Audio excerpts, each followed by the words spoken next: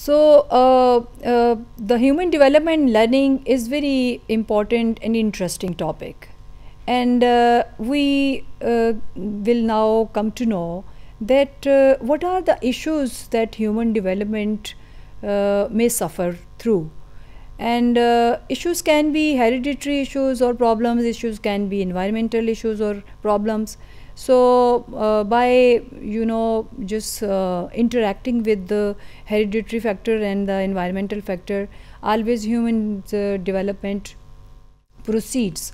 And uh, uh, those those children who are uh, healthy mentally physically emotionally and socially then they are able to encounter with environment in a healthy way. And those children who are weak physically mentally and socially or even emotionally they feel always uh, problem in uh, interacting with the environment and in adjust in, in adjusting with the environment adjustment is also a skill or uh, or uh, or we can say a trait of intelligent person तो यहाँ जो issues हम human development की बात कर रहे हैं उसमें फिर एक बात आ गई कि हेरिडिटी विज एनवायरनमेंट कि क्या हेरिडिटरी जो है ट्रेड्स वो जो हैं इंसान की डेवलपमेंट को किस तरह से मुतासर करती हैं और इन्वायरमेंट जो है, वो इंसान की डेवलपमेंट को किस तरह से मुतासर करता है।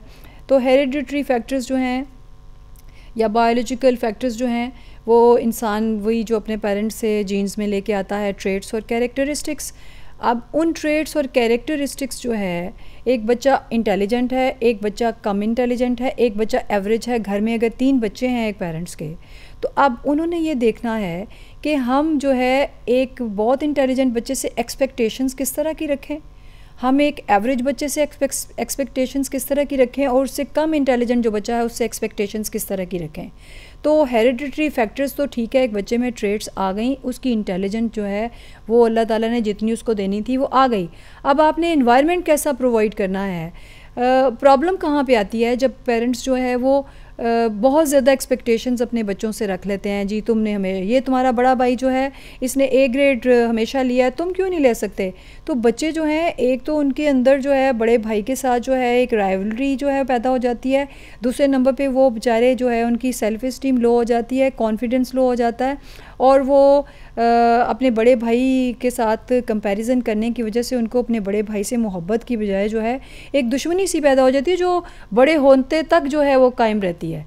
इसलिए ये जो हेरिडिटरी फैक्टर्स हैं, इनकी बेस के ऊपर बच्चों को क्रिटिसाइज़ करना और उनको अपने बहन भाइयों या दोस्तों के साथ कंपेयर करना, यकीन कीजिए बच्चों की जो डेवलपमेंट है, बड़ा, बहुत बड़ा इशू उनके लिए क्रिएट होता है।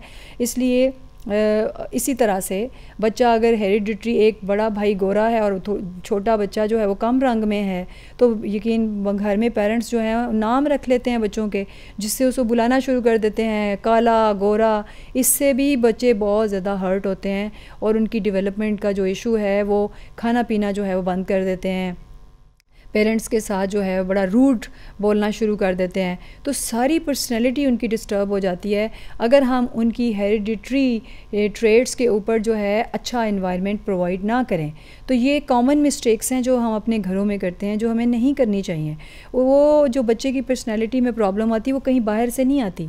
वो हमेशा घर में जो है, आपकी पेरेंटिंग में प्रॉब्लम होती है, या फिर बच्चे को घर का जो माहौल है, आपने इस किस्म का दिया है, जिसकी वजह से बच्चा जो है, वो डिप्रेशन का शिकार हो गया है। तो इसलिए बड़ी इंपॉर्टेंट टिप है कि कभी भी बच्चों को आप घर में कंपेयर ना करें किसी कमी या किसी ज़्यादा खूबी की वजह से और साथ ही जो है वो बच्चे की जो आपकी, उसकी एजुकेशन की एक्सपेक्टेशंस हैं, आपको बच्चे की जो इस्तदाद है, जो बच्चे की इंटेलिजेंस है, उसके मुताबिक वो आप हमेशा जब वंडरफुल कहेंगे ना, ये वाले कमेंट्स बच्चे के लिए, वो इतना ज़्यादा मोटिवेट होगा कि वो नेक्स्ट टाइम उस टेस्ट को और अच्छा करेगा। अगर इवन बच्चा फेल भी हो जाता है तो रीज़न्स आपने देखनी है। बच्चे को डांटना नहीं है, डबटना नहीं है।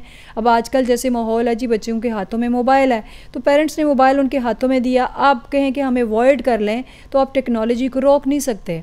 आप बच्चों को उस टेक्नोलॉजी के यूज़ से रोक नहीं सकते तो फिर आपने मैनेज किस तरह से करना है वो अपने घर के माहौल के अंदर जाके बच्चे को टाइम एक मुकर कर लें। इतने टाइम के लिए तुम्हें ये जो है, तुम इसको यूज़ कर सकते हो, अपनी गेम खेल सकते हो। फिर इतना टाइम आपने अपनी स्टडी को देना है, साथ उसको अच्छा खाना खिलाइए, उसके मूड को अच्छा रखें, उसको कोई फ़िज़िकल एक्सरसाइज जो है वो बहुत ज़्यादा उसको प्रोवाइड करें, मौका यकीन करें, बच्चों के अंदर जो एक्स्ट्रा एनर्जी होती है, जब आप उनको ग्राउंड्स में नहीं लेके जाते, सारा दिन मोबाइल्स पे बैठने की वजह से वो अग्रेसिव हो गए हैं और बदतमीज़ हो गए हैं। उसकी वजह यह है कि उनकी एनर्जी यूटिलाइज़ नहीं होती। पहले ग्राउंड्स में बच्चे जाते थे पेरेंट्स भी उनको लेके जाते थे, जिसकी वजह से बच्चों की जब एनर्जी जो है वो यूटिलाइज़ हो जाती थी तो वो रिलैक्स हो जाते थे। इसलिए आजकल बच्चों की जो एग्रेशन की रीज़न है, वो यही है कि पेरेंट्स उनको प्रॉपर टाइम नहीं देते, उनको प्रॉपर माहौल उनका घर में प्रोवाइड नहीं करते। अब नेचर ऑफ़ नर्चर की भी एक बहुत बड़ी डिबेट है कि क्या जो नेचर बंदे की, हम कहते हैं जी इस बंदे की नेचर बड़ी ख़राब है। इसकी तो नेचर ही अच्छी नहीं है। ये किस तरह से सारी ज़िंदगी ही ऐसा ही रहेगा। ये इस तरह की एक डिबेट होती है हमारी सोसाइटी में। तो अब देखना ये है कि क्या नेचर जो है वो सारी ज़िंदगी के लिए एक इंसान के अंदर आ गई है और क्या उसको हम अच्छा माहौल दे के नर्चर नहीं कर सकते, उसकी नेचर को चेंज नहीं कर सकते। तो इसके ऊपर चूँकि दो स्कूल ऑफ़ थाट हैं जो हेरिडिटरी फैक्टर्स को बाज़ात वो कहते हैं जी बड़े इंपॉर्टेंट हैं, इनको हम तब्दील नहीं कर सकते। एक स्कूल ऑफ़ थाट ये कहता है कि हम अच्छा माहौल प्रोवाइड करके हेरिडिटरी ट्रेड्स जो हैं, उसको हम इम्प्रूव कर सकते हैं। तो इस तरह से नेचर और नर्चर की बहस जो है, वो बड़ी पुरानी है। तो बेहतर ये है कि हम दोनों ही फैक्टर्स जो हैं, उसको मिला के एक बच्चे को स्टडी करें और अच्छे माहौल के साथ उसकी हेरिडिटरी जो बहुत ज़्यादा अच्छी खूबियाँ हैं, उसको इन्हेंस करें और जो उसके अंदर कमियाँ हैं, उसको माहौल अच्छा देने के साथ उसको कम अज़ कम इम्प्रूव करके एवरेज से ऊपर लेके आएँ। फिर एक्टिव और पैसिव कैरेक्टर ऑफ़ डेवलपमेंट है कि डेवलपमेंट जो है एक्टिव पैसिव उसी सूरत में होगी। अगर अच्छा माहौल आपने दिया है तो हेरिडिटरी ट्रेड्स तो उसके अंदर ऑलरेडी मौजूद हैं।